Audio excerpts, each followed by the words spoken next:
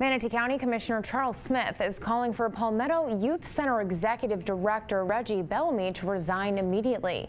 Bellamy is a student support specialist at Buffalo Creek Middle School and the Palmetto High School basketball coach. Smith said he neglects the Youth Center, a community operated facility that receives county funding.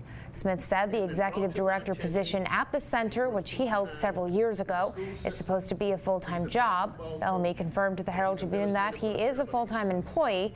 Yet he called Smith's allegations to be an unfortunate and false statement and said it's unfortunate he has that angle. Bellamy refused to make additional comments.